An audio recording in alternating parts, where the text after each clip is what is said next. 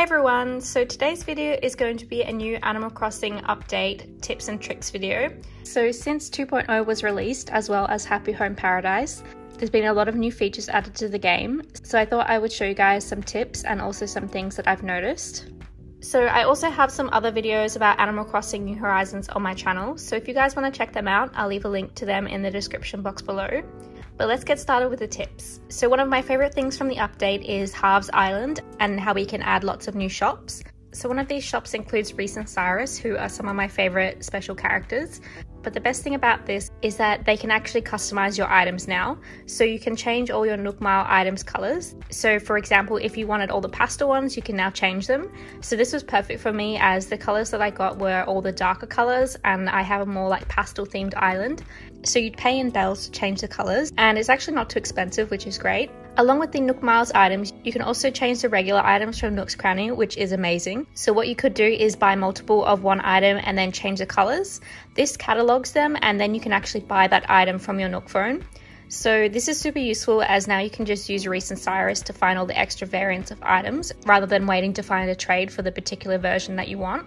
So I was able to get all the versions of the Dreamy Shelves and the plushies by doing this.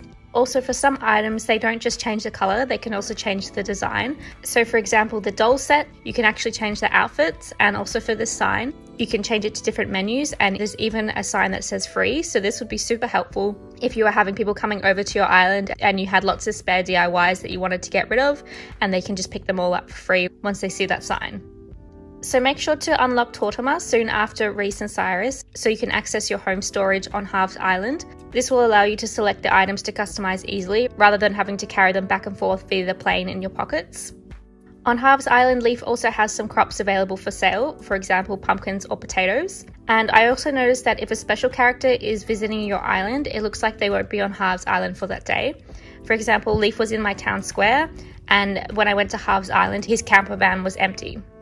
So before the update, if you visited villagers who are in their houses, they used to be able to give you DIY recipes, but now you can see them actually holding a frying pan and they'll give you cooking recipes instead.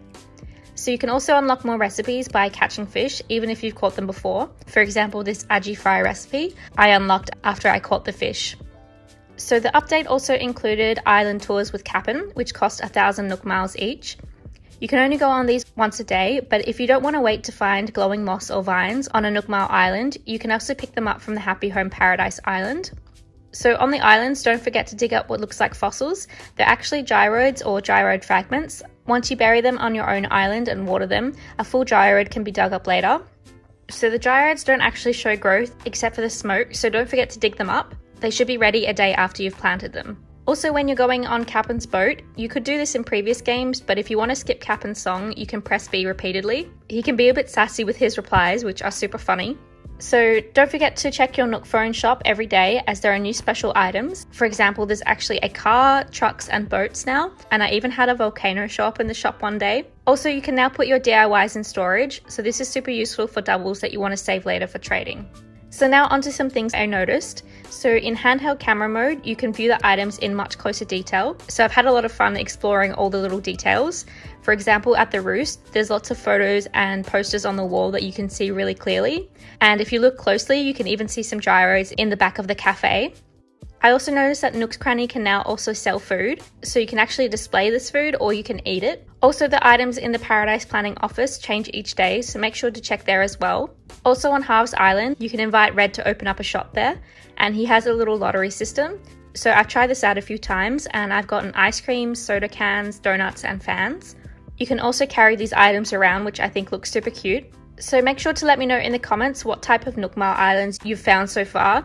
I've managed to get a few normal island as well as a summer island which had the summer shells and a summer shell DIY. And then I also got a glowing moss and vines island where all the rocks had bells if you hit them. So that is everything for today's video. Let me know in the comments what you guys think of the update and Happy Home Paradise. If you guys want to check out more Animal Crossing videos, I'll leave my playlist in the description box below. I hope you guys enjoyed watching and I'll see you guys next time. Bye!